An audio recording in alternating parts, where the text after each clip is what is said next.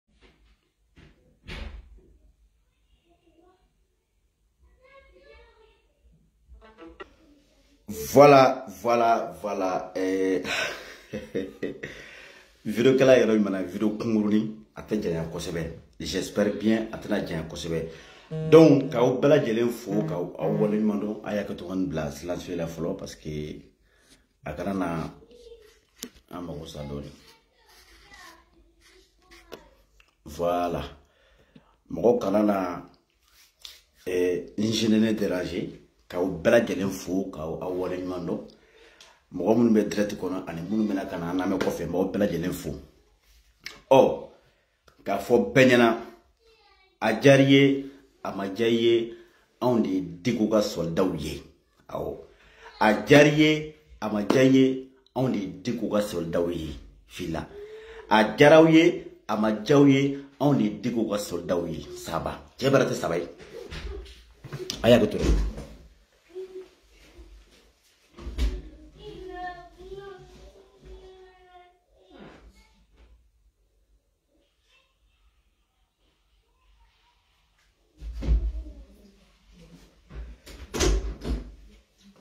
Voilà. K'a fɔ a ye cɛ ja anw de diko ka sɔlidaw ye a ma cɛ ja anw de diko ka sɔlidaw ye ne bɛ to ka nin fɔ kuma kɔnɔ n bɛ segin ka tila k'a fɔ aw ɲɛna tuguni maliyɛnw depuis ala k'an da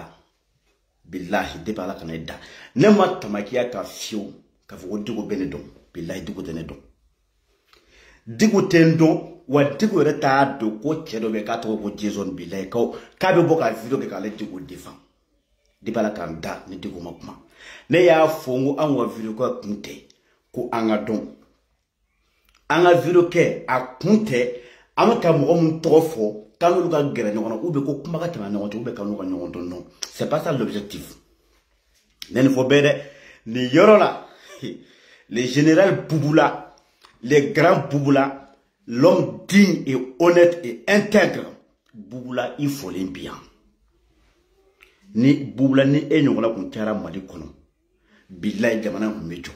minnu bɛ bɔ ka fasoko kuma fɔ ka fasojɔko kuma fɔ k'a sɔrɔ u t'a kɛ ni nata ye u t'a kɛ ni fɛn ɲini ye bubula an ka foli b'i ye ala ka barika don i la bubula ala k'i mɛn an kɔrɔ ɛ anw fɛnɛ sɔrɔlamisɛnninw ye anw ka generaliba o ye bubula de ye chef de guerre eh, le commandant suprême le général Le maréchal est l'homme secret de Diko, le grand défenseur, défenseur de Diko.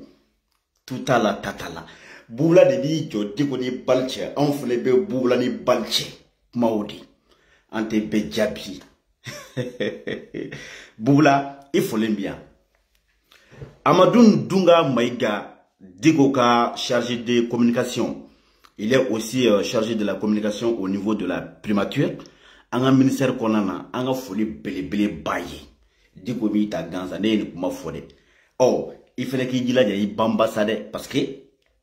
jugu b'i kɔ wa jugu b'i la pourquoi parce que k'i bɛ diko kɛrɛfɛ filanan ko parce que k'i kɛra chargé de communication ye dunga mayiga an ka foli b'i ye ne y'a fɔ dɛ ne t'a kun tɛ ko mɔgɔ ka ne contacter ne mɔgɔ fosi tɛ mɔgɔ fɛ kuma ɲɔgɔnya la mais i bɛ ka baara min kɛ an b'o de défendre ka foli belebele ta k'a ɲɛsin gandi ma gandi maliyɛn an ka foli b'i ye i ni baara i ni cɛsiri ka zijo kura dayɛlɛ k'a tɔgɔ da imam mamu diko la sɔni an bɛna o inauguration mondial an bɛna o fana kɛ an se ye fɛn fɛn ye o fana na an b'o kɛ i ka foli belebele bi yan aras bala yira dani de pari jɛnɛ sogodugu matu janet koni kɔrɔ oms lagare sanogo mɔgɔ o mɔgɔ bɛ ka diko dɛmɛ n'a sera sako mɔgɔ mɔgɔ de bɛ yen ko diko ka di ye k'i bɛ ka diko dɛmɛ an ka foli bi ye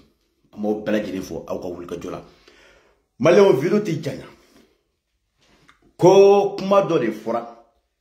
o donna n'o ye an ka general bubula ye gandi ka plateau kan ani bubula yɛrɛ ka émission na bubula ko ko ale bɛ kɛ digo kɛrɛfɛ bɛɛ b'a dɔn ko bubula ye digo kɛrɛfɛ sigibaga ye digo ka general don a ka confident don a ka homme secret don a ka marechal don a ka turamagan don a ka sunjata don a dan quoi a bɛɛ bubula de y'a bɛɛ ye ɔ ko bugula ko a ka émission na ko ale b'a fɔ diku ye ko dɔw bɛ pari ko mɔgɔw k'i defan fan bɛɛ a dɔ la a b'a fɔ ko danni de pari ko diku b'a fɔ ko danni ye dɔn ye ko diku b'a fɔ ala ka barika don la aw ma ye yan bi de u bɛna fɔ ko anw ye dɛrɛnga ye sur les réseaux sociaux bi de u bɛna fɔ ko anw ye fanini balanikɛlaw ye sur les réseaux sociaux pourquoi parce que k'an bɛ ka diko defan tout simplement parce que diko man di olu ye mais don min na anw bɛ arasta kɔ ne ye hakili la ni aw bɛ aw hakili b'a la cɔ aw b'a dɔn ko o don fanini balani o kun ka jugu ni bi ye mali mɔgɔ foyi tɛ yen mɔgɔ min fana y'a ba ma nɛni k'a di arasita ma o don anw ma kɛ fanɛni balenikɛlaw de ye mali mɔgɔba tɛ yen min fana a ba ma nɛni k'a di arasa ma o don anw ma kɛ dɛlɛnkan ye de mɛ bamananw ko tɛ ko wara bilen n'a dɛsɛra jamana de a b'a k'a kumunen don kuwa aw ka kan ka tigɛ aw yɛrɛ la bilahi hɔrɔnya tigɛra aw la danbetigiya o tigɛra aw la wa aw tɛ halalaw ye bilahi ni aw kun ye halalaw ye aw man kan ka anw traite de balinikɛla n bɛna kuma kelen fɔ ne ko mun de ye anw tugu diko kɔ mun de ye anw tugu diko kɔ est ce que anw wulila an yɛrɛ de ma ka wuli te ka tugu diko kɔ a mɔgɔ de tagara na anw ye diko nɔfɛ o jɔn min arasiba ci anw tun bɛ arasita de kɔ ale de tun y'an ka ɲɛmɔgɔ ye ale de wulila k'a fɔ ko diko ye kira ye ale de wulila k'a fɔ ko diko ye ala ye ko diko bɛ k'a sen na kira sen na nɔ la ko diko ye mɔgɔba ye diko ye silamɛ wa diko bɛ sira min kan o ye sira kelen de ye ni o diko ma yɛlɛma ale taara ni anw ye diko nɔfɛ anw tugura en fait don min a b'ale arranger an k'a kɛ mɛ n'a t'ale arranger an kana kɛ quoi hali n'a sɔrɔ an ɲɛ bɛ tiɲɛ na an de ko k'an t'o kɛ cɛ ye bi an t'o kɛ muso ye sini an t'o kɛ cɛ ye bi an t'o kɛ muso si ye a nana n'an ye digo nɔfɛ ka tila kana bila o digo kelen na k'o fa nini k'o ba nini k'o buruja ko fo jagoya kan ka b'o digo kɔ anw ye tiɲɛ anw de ko anw tɛ tugu kɔ galo kan ka digo kɛlɛ jamais de la vie ɔ hasidiw ani kalabanci ni fasoden jugu olu sago de ye ko an ka bɔ digo kɔ an ka digo labila olu ye u ka digo la gosi k'a buruja k'a mankutu tiɲɛ anw de ko bɛɛ tu o tɛ kɛ anw sigilen ɲɛna yan nɔ bilahi foyi t'a kɛ ko bubula ko ko anw bɛ bɔ ko ka video kɛ ka digo defan ɲɛ b'a kalabanci saraka a saraka minɛna dɔw la n y'a fɔ anw tɛ bɛɛ jaabi bilen dɛ parce que nafa bɛ mɔgɔ minnu na a bɛ an n'olu cɛ mɛ nafa tɛ minnu na fo kana bɔ ten a dɔw yɛrɛ bɛ yen u ko an ka video yɛrɛ dabila ka bɔ ka ne sigi i ka ekran ɲɛ ma manamanakan fɔ la i valeur banna i pɛrimela nafa foyi t'i la ne y'a fɔ ye n balimakɛ wo ni kɛlɛ kun b'i la kɛlɛ kɛ k'i ka arasara bɔ kaso la dɛ i dɛsɛr'o la pewu hali sini o bɛ bolo la k'a fɔ aw bɛɛ lajɛlen ɲɛna aw ka kan ka tigɛ aw yɛrɛ la bilayi waati min na anw tun bɛ arasta kɔni nous étions ces généraux anw tun bɛ arasta kɔ don min na il était intouchable wa anw y'a bila anw ye barikatigi denw de ye wa an ye duwawu denw de ye ni aw bɛ miiri aw ka kan ka anw yɛrɛ kɛlɛli dabila parce que an y'a faga anw y'a faga arasa ni est ce que aw bɛ arasa da tɔgɔ mɛn ne la bilen est ce que aw bɛ arasa tɔgɔ mɛn ne da est ce que aw bɛ ne ka video kɛra saga pourquoi parce que nafa de t'a la bi a nafa banna pewu aw bɔra ka fan bɛɛ kɛ sɔ ni makɔrɔni ye aw kulola ka bo fara fan bɛɛ ko arasa tɛ minɛ a y'an arasa bila buu bɛɛ a filɛ bi dɛ aw sera ka mun de kɛ o y'a yira la ko ko aw tɛ se ko la aw ni kotigi man di wa barika t'aw la fanga t'aw la nafa t'aw la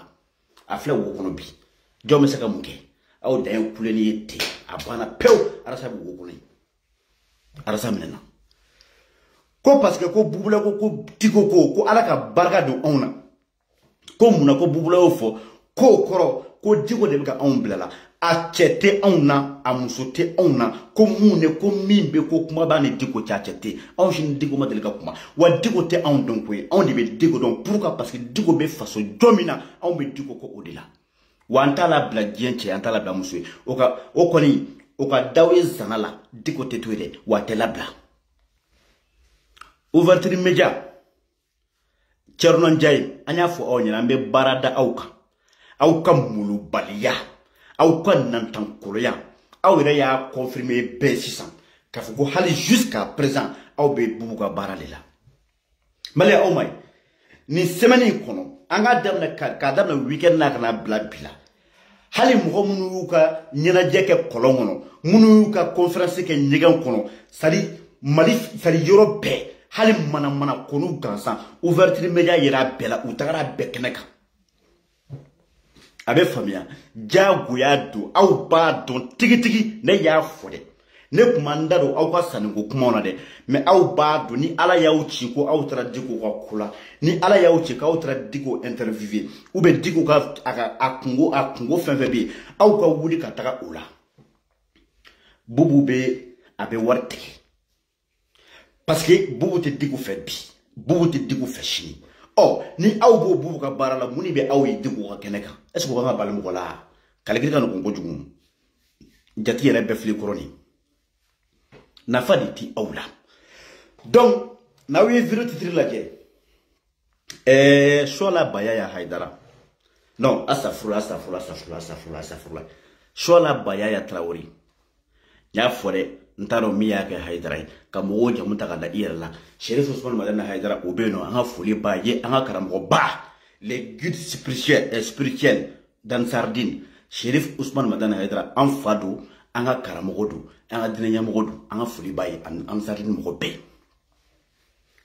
ɔ sɔla baya ya haidara malɛnw ne y'a fɔ bɛɛ ye dɛ n tɛ mɔgɔ lebu mɔgɔ lebu man di ne ye wa mɔgɔ dɔgɔya yɛrɛ man di ne ye mɔgɔw bɛna fɔ parce que dɔw kɛlen don ka sɔla minɛ ka sɔla kɛ diinɛ ɲɛmɔgɔ ye ka sɔla kɛ mɔgɔkɔrɔba ye sɔla a y'a si fɔ bɛɛ ɲɛna dɛ sɔla ye san bi saba ni seegin de ye donc ne ni sɔla bɛɛ kategori kelen ye san bi saba ani seegin il a même pas encore 40 ans donc ne ni sɔla bɛɛ ye kelen an bɛɛ ye fila ye n'a taara i dogo bazɛn kɔfɛ ka t'i dogo golokibaw kɔfɛ ka t'i dogo jalamuguw kɔfɛ ka taga i dogo banfulɔnw kɔfɛ ka kɔlɔsi ta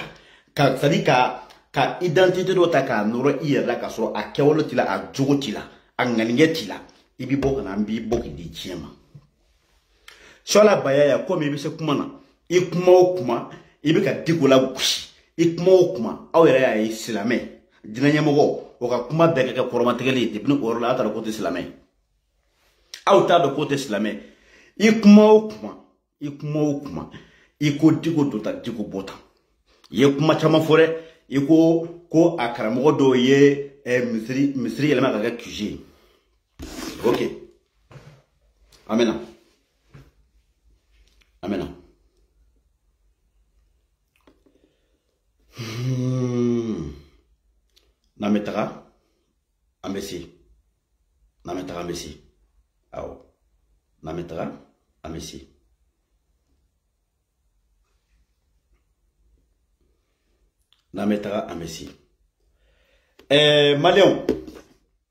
n ko aw ma mɔgɔ lebu man di n ye mɔgɔkɔrɔba dɔgɔya man di n ye n kan tɛ sɔ ala ma dɛ o y'a kɔ mɔgɔw kuli voilà a bonya bɛ kuma na kɔmi suwala ko k'ale da faralen don suwala ko k'a da bɛ tantɔ sankolo ni dugumakolo cɛ suwala ko k'ale bɛ se ko la k'a bɛ se kuma na k'a bɛ se mɔgɔ jaabi la suwala suwala ko k'ale ye deba ɲini wagabiya dinɛ mɔgɔw fɛ a ka mɔgɔ fɔlɔfɔlɔ a bɛ mɔgɔ min invité ko ye imam mamu diko ye an bɔra k'a fɔ sɔla ɲɛna ko n'a kariyara don min na ka asitu kulubali ka invitation k'o accepter a kana sigi a n'o ka débat kɛ o don ani diko bɛ kuma sɔla ma bɔ k'an jaabi sɔla ko k'a bɛ se kuma na sɔla ko ko walifa dɔgɔya ka di ale ye a yɛrɛ ɲuman na ale fa tɛ diko ye ale foyi tɛ diko bɛ k'ale kɔrɔkɛ de ye parce que ale ye san bi saba ni seegin ye diko fo san bi wɔɔrɔ ni kɔ a y'a faamuya sadi diko b'a sɔrɔ hali mɔden ye mɛ a ka molobaliya kama a ko ko diko t'ale fa ye ok diko t'i fa ye diko ye kɔrɔkɛ ye i ko mɛ diko ye dɔ fa ye diko ye walifa de anw fa don i ko ko i bɛ se walifa dɔgɔya la k'a fɔ suwa la ɲɛna an ye ɲininkali minnu sɛmɛ suwa la la dɔgɔkun in kɔnɔna na an b'a ka jaabi ye dɛ a tɛ tukulubali a dun y'an na sɔmi ko suala filɛ de ko n'i bɔra ka kuma ni fa ma dɔrɔn k'a bɛ bɔ k'o demanti i mana bɔ ka kuma ni kuma ni fa a bɛ bɔ k'o demanti n'i bɔra ka kuma fɔ a bɛ bɔ k'i jaabi k'an bɛ ka suala ka jaabi ma kɔnɔ jusqu'à présent a ma bɔ k'an ka question jaabi maliyɛnw an tɛ don histoire fɔ na dɛ an ye daliw sɔrɔ an ye daliw sɔrɔ an ye information sɔrɔ avec des preuves à l'appui a bɛɛ stockelen b'an bolo an tɛ mɔgɔ lebu dɛ mɛ n'i ye n'i ye kasa n'i y'a tɛmɛ kɔnɔ wɔɔrɔ kan an b'i bɔ k'i di diɲɛ ma sɔla ne y'a f'i ye dɛ i jiwa t'anw si la mɛ i bɛ di k'o to yen de i bɛ di k'o to yen an ye dalu sɔrɔ ni ko ma ko dalu dɛ dalu hakilitaw an ye dalu sɔrɔ mɛ n'an ko k'an bɛna bɔ sisan ko kana se ka ninnu balanse ten erezo sanfɛ mɔgɔw bɛna fɔ aw ma cɛkɔrɔba bonya aw b'a kɛ tan aw binna kan a y'a don tan a y'a bɔ tan ɔ an k'o bɛɛ to yen an bɛ sɔ la de invité a ka na parce que soit a bɛ bɔ a bɛna nin fɔ an ɲɛna soit anw de b'a balanse ou bien a bɛ di k'o to yen kumaw dɔrɔn de a ye video ta a k'a lase sɔ la baya tarawele ma sɔ la tarawele ko anw ko a ma ko pourquoi an ka cɛkɔrɔba an fa n'o ye baya ya tarawele ye pourquoi o ye kaso kɛ a ye kaso kɛ ko min na sɔɔla ka bɔ a ka n'o fɔ malidenw ɲɛna yala ka t'i sigi k'a bɛ walifaw dɔgɔya yala ka t'i sigi k'a bɛ an ka karamɔgɔkɛ dɔgɔya yala ka t'i sigi k'a bɛ imamu buruja n'o ye diko ye kosɔn la ka bɔ k'a fɔ anw ɲɛna kesɔn fɔlɔ ko pourquoi an ka cɛkɔrɔba an fa n'o ye baya ya tarawele ala ka hinɛ la ala k'a da yɔrɔ ne ma k'o taara kaso la cogo di sɔn la ka bɔ a ka n'o fɔ o a ka n'o jaabi di anw ma o tɛ kelen ye kesɔn filanan ko sɔ la ka na u ka so kɛra sadi hayidarala so in a histoire bɛ cogo di a kɛra hayidarala ye cogo di sɔ la ka bɔ a ka na o histoire d'a ma o ye fila ye ko kosɔn la ka n'a fɔ anw ɲɛna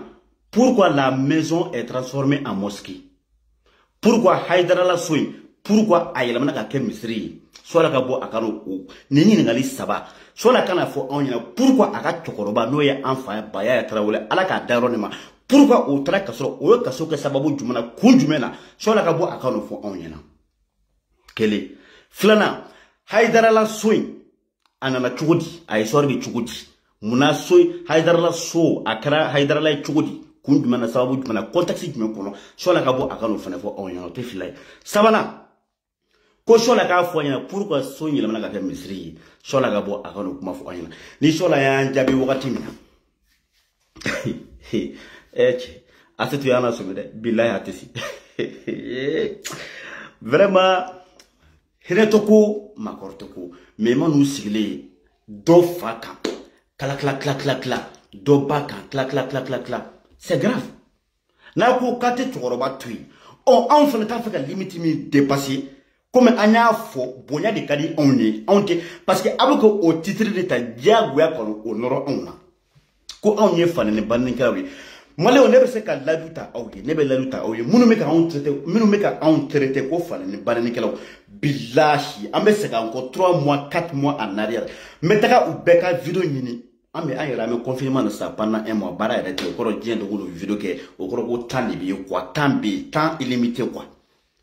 ka taga recherche kɛ ka tugu ka video ta a video kɛla fɛn fɛn bɛ yen minnu bɛ ka anw traiter ka ko fana ne bannikɛla k'a daminɛ ouverture media mɔgɔw la ka na arasa ka mɔgɔ piyapiyani minnu bɛ yen an tɛ minnu jate bilen minnu bɛ kulo ni bu ni bɛlɛ bɛ ni nafa t'u la dɛ ka taga u ka videow ta u yɛrɛ fanɛni banɛni u fanɛni banɛni kan k'a ta ka na di aw ma sadi dalu contre dalu mɛ a cɛ de tɛ yen a cɛ t'u la a muso t'u la a mɔgɔ t'u bolo min bɛ se ka bɔ ni jesu nin ka hali falenniba nin tɛ dɛ hali ko nin ye nene juguman don a ti a ti mɛ u ko de ko f'u ka o etiketi de f'u f'u ko de ta k'o kole anw na e pourtant falennibanen in nana sedɛri de kɔnɔna na sedɛri de y'a wolo k'a sɔrɔ sedɛri mana mɔgɔ si mali maliyɛn tɛ yɛrɛ tun tɛ reseau sanfɛ dɛ k'a fɔ k'i bɛ n'i sigi ko ka video kɛ mɛ u nana lutte kɛ fasojɔ kɛ fanɛni banɛni de wa bɛɛ bɔra cdr de kɔnɔna na mɛ bi ko parce que anw tɛ ka arasta dɛmɛ anw bɔra arasta kɔ arasta afɛbilila arasta ko banna fo k'a minɛ k'a don kaso la bi o de dimɛ tɛ ka se ka k'u la anw tun bɛ baara min kɛ arasta ye anw tun kɛlen don jilɛparibali ye contre arasta envers Arasa plutôt pourquoi ka Arasa protéger le fait que u tun b'o bénéficier n'o tɛ sɔrɔ bilen ɔ an filɛ an filɛ ka kan changer ka taga kɛ ka ka taga kɛ gilet pare-balle ye maintenant Imam Dicko la o de bɛnnen t'u ma f'u k'a bɔ k'u bɛ cɛkɔrɔba buruja ko fana ni baninikɛlaw de b'o kɔ ou bien dɛlɛnkanw de b'olu kɔ a ka sɔrɔ a cɛ tɛ yen a muso tɛ yen min bɛ se ka bɔ ni dalu dɔ ye ne kan ne kan ne bɛ n ta lase diɲɛ bɛɛ ne min bɛ ka video kɛ Imam tɔgɔ la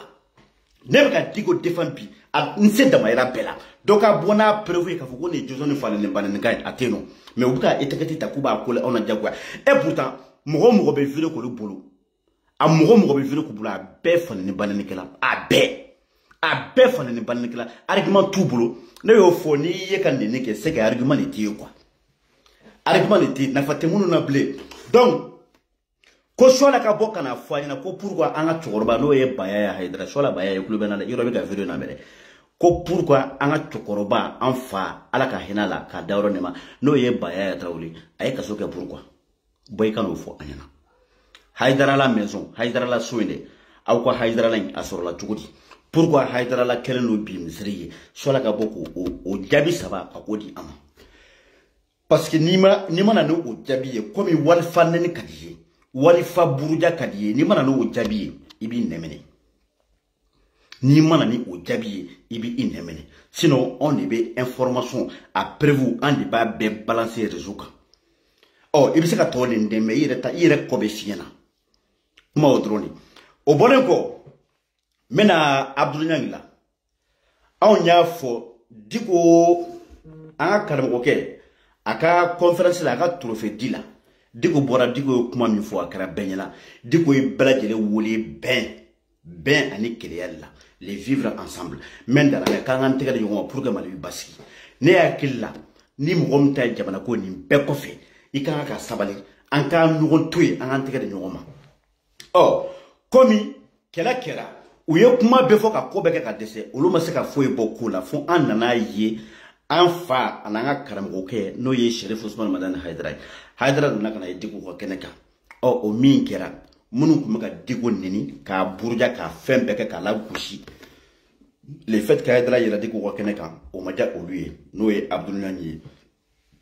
aw y'a ye n y'a ye publication de kɛ kunu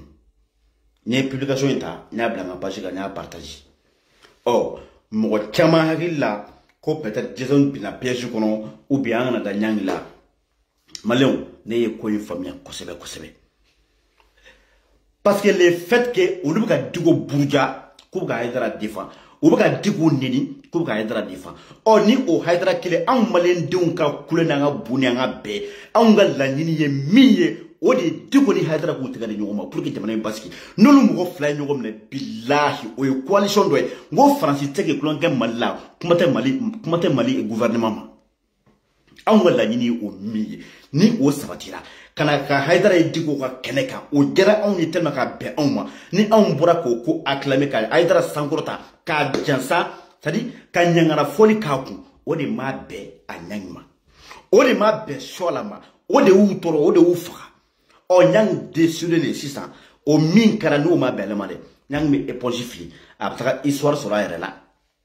ale frère tɔ je ne sais pas quoi ale ka mɔgɔ la a bɛ mɔgɔ min bonya o y'ale wele ou ale taara ci min na ale kun ma taga o yɛrɛ kama mais ni nana bɔ ko kɔnɔna na o y'ale sigi ko ko k'o t'a fɛ k'a dɔn au fond c'est à dire ɛɛ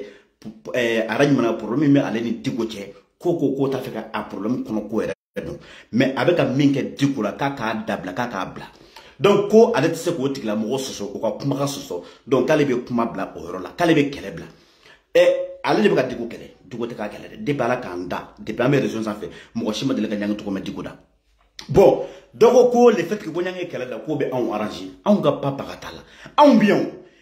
i bɔra n'i y'a kɔrɔba an b'i gosi anw ye baara min siri ɲa gila nin sɛmɛni kɔnɔ anw ye baara min da sɔ la ka olu bɛɛ ɲɛba la juguya tɛ u hasida tɛ an ko de a ye fara di kɔrɔ wa a ye na an ka bɛn an k'an tɛgɛ di ɲɔgɔn ma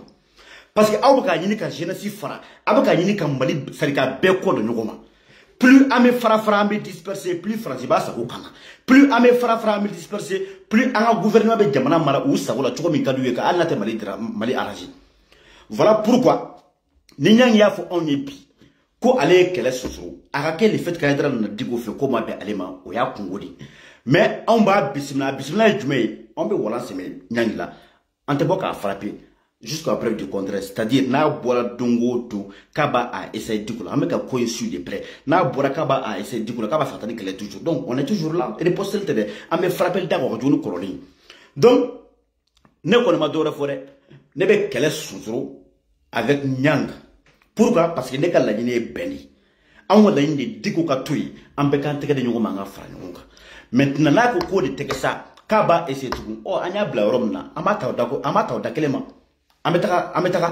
kuma o dɔrɔn de o de la aw bɛna ye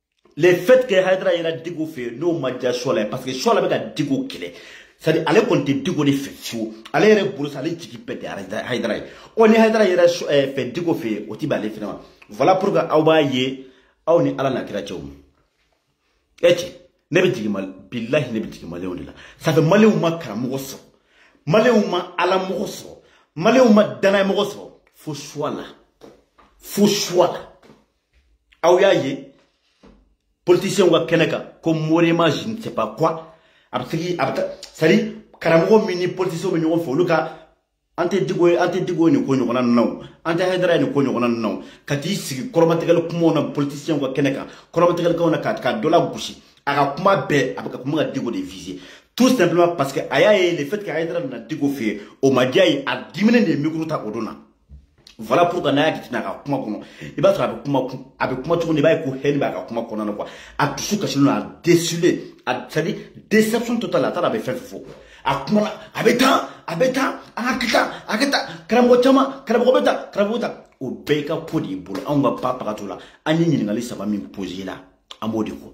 an ye question saba min posé kun na an b'o de nɔfɛ donc n y'a fɔ a ye ko video tɛ janya ka bɔ kuma na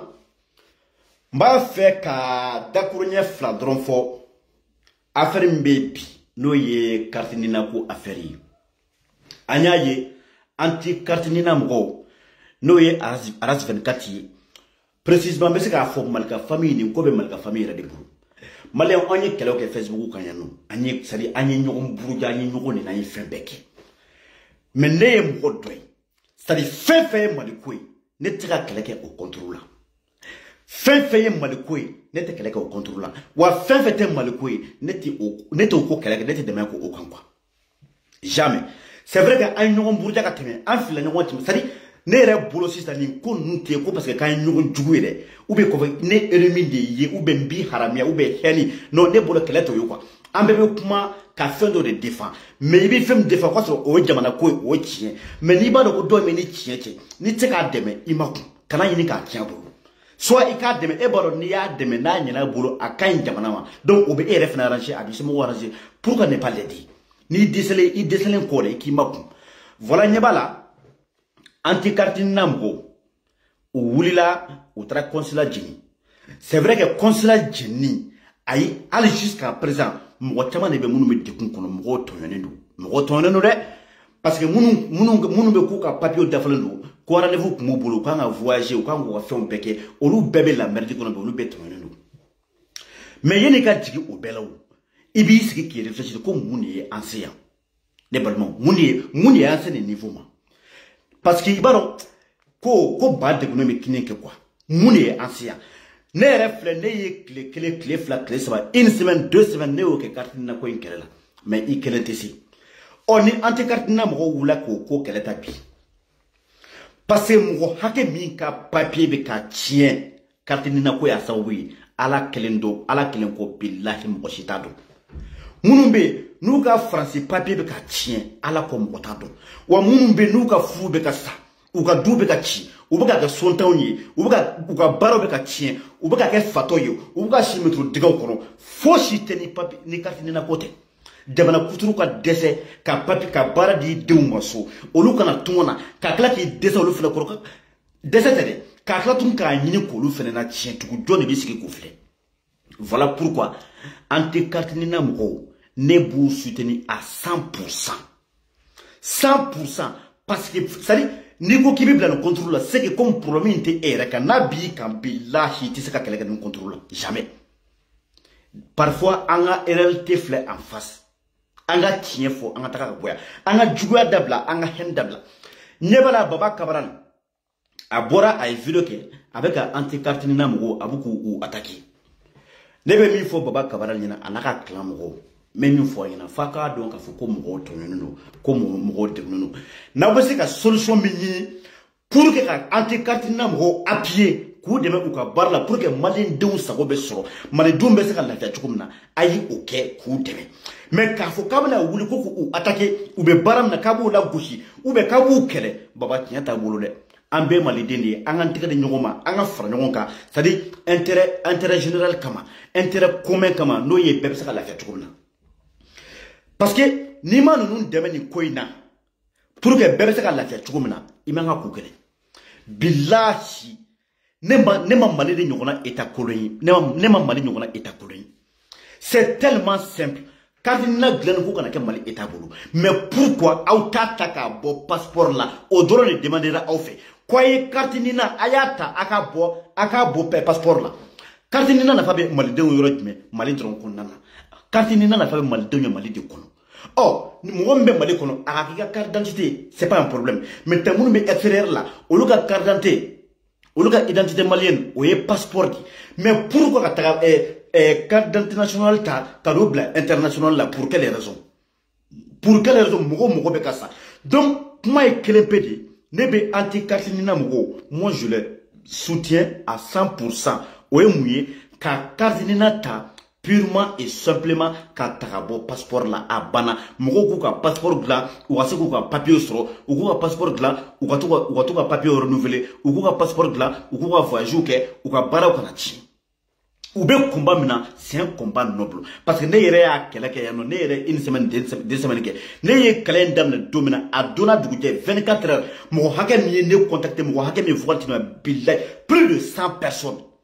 wa a bɛɛ bɛ degun kɔnɔ a bɛɛ ka degun tɛ dɔwɛrɛ dɛ mɔgɔ tɛ passeport ko kuma fɛ dɛ bɛɛ lajɛlen bɛ carte ni nako kuma de f'i ɲɛna a bɛɛ lajɛlen carte ni na o c'est là k'i b'a faamuya k'a fɔ ko cɛla ko degun bɛ mɔgɔw kan ɔ mɔgɔ b'u ka degun kɔnɔ eta dɛsɛra pour ka minnu wula k'a kɛlɛ kɛ bi n'i y'a ye n'i y'a ye consulat jenina parce que ko tɛmɛna dan ne kan wa il fallait que nin de kun ka kɛ ne de kun ma kɛ ko kun tɛ dɔn quoi donc an tɛ carte ni na mɔgɔw vous avez mon soutien indéfectible Mon soutien inconditionnel. Aw bɛ baara min na, aw bɛ combat min na, c'est un combat noble et juste. A bɛ k'a kɛ aw yɛrɛ tɛ dɛ, hali n'a bɛ aw arranger, mais fo a k'a dɔn ko ni combat in ɲɛna, Maliyɛn den ba joli joli bɛ jamana kɔ kan, bilahi olu bɛɛ bɛ lafiya, olu bɛɛ bɛ hɛrɛ sɔrɔ a sababuya la. Donc a y'a da kan, a ye pression monter, a kana foyi bɔ a la, hali n'a y'aw diya consulat kana dayɛlɛ bilen. Après minnu bɛ bila degun kɔnɔ, n'o ye rendez-vous bɛ minnu bolo vraiment on est vraiment désolé pour vous on est vrai vraiment désolé parce que état de m'a jɔ a jɔyɔrɔ la ni état tun y'a jɔ a jɔyɔrɔ la bi la ni kɔlɔlɔ parce que ɔ minnu ka papier dafalen don sani a b'a jateminɛ mɔgɔ minnu bɛ kɔlɔlɔ kɔnɔ bi o de ka ca bi ka tɛmɛ minnu t'a kɔnɔ ye ɔ minnu bɛ yen k'u ka rendez-vous bɛ yen k'u ka fɛnw bɛ yen c'est vrai que olu bɛ kɛ dommage collatéral de ye a b'u tɔɔrɔ a b'u dekun mɛ f'u k'a dɔn k'a fɔ k'u balimaw bɛ u denw fana b'u kɔfɛ an'u dɔgɔninw minnu nalen don n'u ka papiye ko dɛsɛlen don ka ɲɛnabɔ minnu bɛ minɛriya la u ka u ka dosiye bɛɛ bɛ ka tiɲɛ et pourtant c'est simple ko ka carte nina ta k'a bɔ passeport la dɔrɔn a banna wa passeport biométrique bɛ se k'a dilan sans la carte nina kuma banna dɛ i bɛ taga consulat la u b'i ka empreinte ta empreinte digitale u b'a bɛɛ ta k'a ban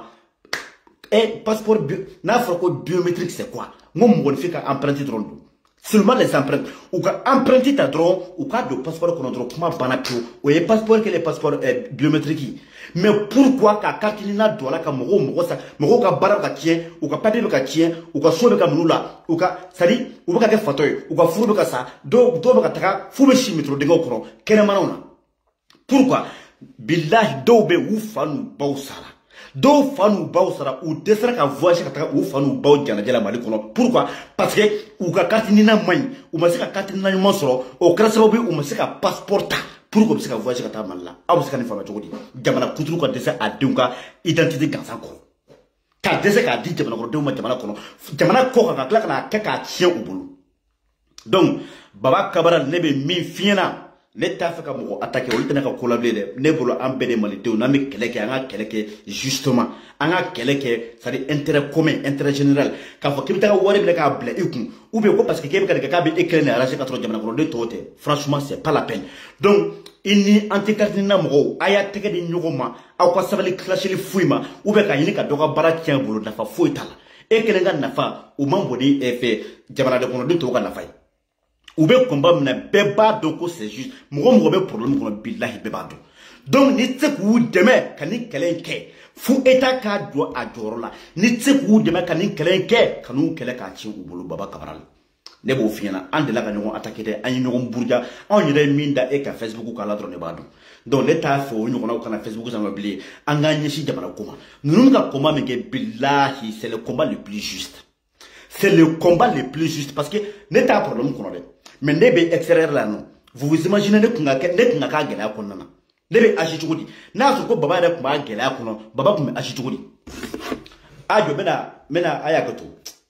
vraiment t'a fɛ ka eh, clashel tɛ dɛ mais a yakuto mena mena baba yɛrɛ ka kumakan dɔ yira aw la sisan mena baba atan a don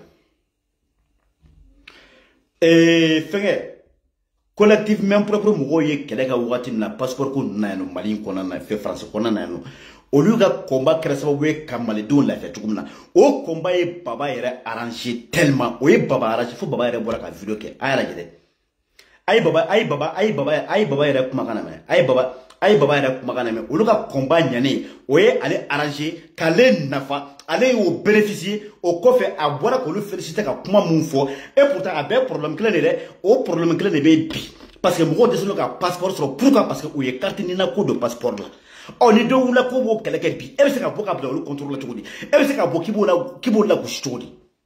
i tɛ e ta ye e tɛ dɔwɛrɛ i ye tunkaranden de i ye tunkaranden de yɛrɛ fɔ anw bɛɛ i b'a dɔn ko mɔgɔ bɛ gɛlɛya kɔnɔ c'est vrai que mɔgɔw y'u aju changer mɔgɔw y'a kɛ tan tɔ a tɔgɔ ma ɲa ok d'accord mais est ce que c'est la fin du monde wa pourquoi état tɛ se ka solution sɔrɔ o la pourquoi tout simplement et tout bonnement et purement pourquoi état tɛ se ka carte nina ta ka bɔ passeport la a ye baba ka kuma lamɛn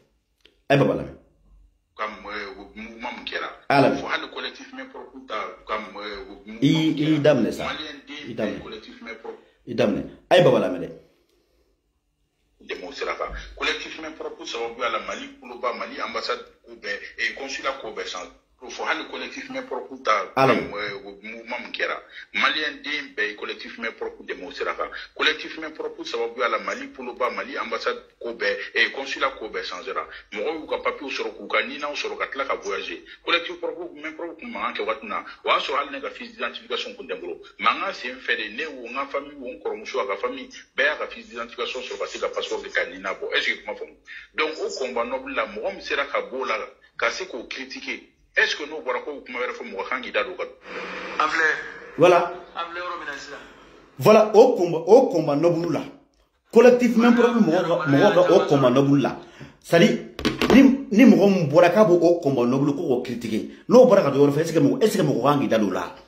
ale yɛrɛ filɛ ka a bɛ ka kuma yɛrɛ de ka nin yɔrɔ tan dɔ ça veut dire que anti cartinina mɔgɔw bɛ baara min na c'est un combat juste et noble mais est ce que e ka bɔ k'e bɛ dɔ fɔ o combat ma k'e b'o la gosi k'e b'a ɲini k'a tiɲɛ olu bolo est ce que mɔgɔ kan e yɛrɛ i ye den qualité min i yɛrɛ kan k'i yɛrɛ ɲininka quoi est ce que e ka kan ka bɔ k'o la gosi wa donc ne bɛ min fiyana vraiment baba kabaral kilasi tɛ kɛlɛ tɛ a ka kuma tɛ foyi foyi tɛ ninnu bɛ kɔnba min na a bɛ maliden bɛɛ de arrange mɔgɔ mɔgɔ bɛ mali in kɔnɔ yan ani mali kɔ kan parce que minnu bɛ mali kɔ kan olu somɔgɔw de bɛ yan u denw de bɛ yan u balimaw de bɛ yan u ka papiye bɛ ka tiɲɛ u ka baaraw bɛ ka tiɲɛ u ka sow bɛ ka tiɲɛ u ka furuw bɛ ka sa donc ni nin problème bɛ se ka kɛ sababu ye k'olu bɛɛ bali k'o ko arrange n'i ma nin n'i ma nin kɔnba n'i ma nin soutenir n'i m'a dɛmɛ kan'a kɛlɛ i m'a faamuya donc ne bɛ min f'i ɲɛna eh, ji kɛ i ka vɛn na i y'a faamuya jisuma kɛ i ka vɛn na i ka sabali i ka ninnu t'u ka kɔnba la ni t'u dɛmɛ kana ɲini kana tiɲɛ ka bɔ ka na kɛ vidokɛw ye k'i bɛ ninnu lagosi k'i b'u la fɛbili k'i b'u la kɛ tantɔ k'i bɛ dɔw bɔ o kɔ o bɛɛ ko wɛrɛ de o dabila i k'u to yen k'u ka baara kɛ i tɛ jamana ye i tɛ i tɛ i tɛ gouvernement ye n'i t'a kɔnba kɛ i sabali i k'i makun i k'i ɲin bɔ a la donc malidenw n ka foli b'aw bɛɛ lajɛlen n y'a fɔ a ɲɛna cogo min na video jamujan tɛ k'a bɔ ka nin yɔrɔ fɔ a ɲɛna k'a fɔ sɔla baya ya hayidara ɲɛna komi a ko ko a da ka bon ko kuma ka da ye k'a bɛ se kuma na k'a ka bɔ k'a fɔ a ɲɛna a ka cɛkɔrɔba ye kaso kɛ sababu jumɛn na kun jumɛn na a ka cɛkɔrɔba taara kaso la a ka bɔ a ko a k'o kun a k'o fɔ malidenw ɲɛna ka tila k'a fɔ hayidarala u ko hayidarala a ko a so in sɔrɔla cogo di hayidarala nana cogo di pour que maison in kɛra hayidarala a ko nana cogo di o kelen ye pour que so in kɛra misiri ye hayidarala kɛra misiri ye pour que ko sɔla ka bɔ k'o ɲininkali saba a k'o jaabi a k'o walawala malidenw ye komisa n'o kɛra n'a sera k'o kɛ an bɛ kalan sɛmɛ la n'a ma se k'o kɛ fo diko burujali ɔ anw fana bɛna an ye information minnu sɔrɔ ani an ye preuve minnu sɔrɔ an bɛna an b'a publier maliden bɛɛ b'a ye parce que a tɛ se k'a fɔ ko an bagara ma ko an bagara mu bɛ k'an ma averti parce que an ko k'a ka dɔ de to yen a ko k'a to to yen ɔ n'a ko k'a to to yen an fana se ye min ye an fana b'o kɛ kumaw dɔrɔn de an y'a fɔ dɛ mɔgɔ dɔgɔya man d'an ye mɔgɔ lebu man d'an ye an tɛ mɔgɔ fa neni an tɛ mɔgɔ ba neni hali n'a sɔrɔ k'u b'a fɛ k'o etikɛti ta k'a kɔli anw na diyagoya parce que anw bɛ kuma min fɔ de an bɛ bɔ k'u jogo min yira malidenw na de o de bɛ k'u tɔɔrɔ o de kɛra anw ka deli ye wa o de kɛra an ka faleni baneni ye n'o de ye faleni baneni ka aw jogo kolon ta aw ka hasida n'a k'aw ŋɛniŋɛ juguya k'o ta k'o yira malidenw na ɔ n'o de kɛra anw ka deli ye n'o de kɛra an ka faleni baneni an y'a jɛ piyan an y'a jɛ piyan aw n'a ka fɛrɛmɛtiri meja aw n'a ka bubu aw ka kasimu tapo aw ka bubu ka partiw aw ma ye yan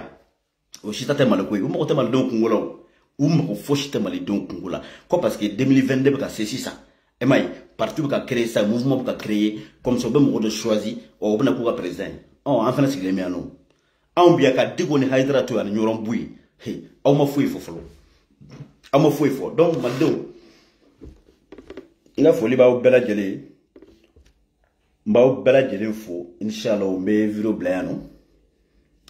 an bɛ bɛn si wɛrɛ la ala sɔnna ma alas bala yira i ka foli belebele bi an ka foli belebele bi ye ka tila ka an ka an ka imam fo an ka imam fo